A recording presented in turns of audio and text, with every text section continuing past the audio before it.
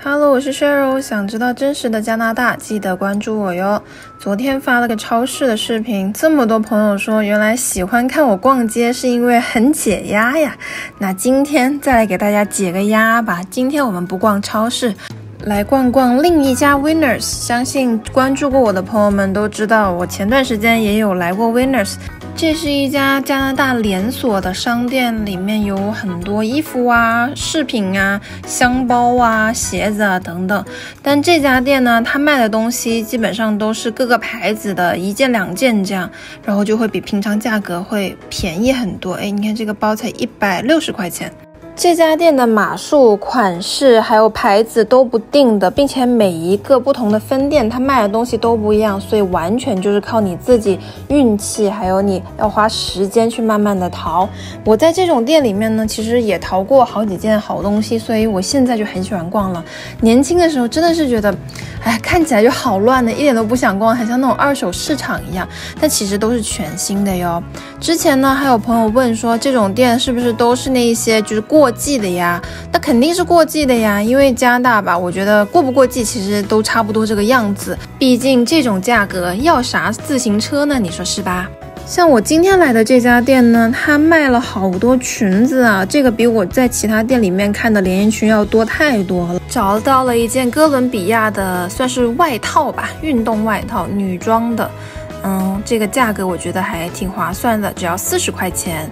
它还有其他的外套，都要自己这样子一件一件的淘哦。你要自己看看喜欢什么。然后有 MK 的一个 T 恤，原价八十八，这里只卖三十。还有这边有一些就是 CK 的衣服啊什么之类的，反正大家看着自己的喜好吧。原价七十九，现在卖三十。这里呢也有一些泳衣卖，其他店好像现在泳衣好少了。我之前在 Winners 就淘到过一套泳衣。刚好是我的码，而且是我喜欢的黑色，我就一看，诶，这个牌子我知道了。原价一套要差不多两百加币，Winners 只卖三十块钱，可能贴标签的人也不懂吧，所以我赶紧买了。这边有这个 Polo 拉夫劳伦的 Polo 衫，九十八块五，那这里是卖四十块钱，嗯，还可以吧这个颜色。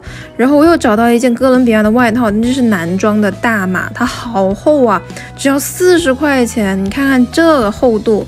真的是杠杠的呀，可惜我不是男生。其实我很喜欢男生的衣服，就只是大码对我来讲也太大了。这边是衬衫区，这边嗯黑色的这件啊，红的这个就算了，我们就略过。这个也还可以，都是 CK 呀、Tommy 啊，还有 MK 的衬衫。感觉就是也还挺百搭的吧，只要二十块钱一件，特别特别的划算。我觉得这个要是有适合的码的话，可以赶紧买一买。毕竟上班吧，要是穿衬衫的话，还是要多点拿来替换一下。这边也是，我觉得颜色都还算挺正常的，不会很难看的那一种，挺百搭。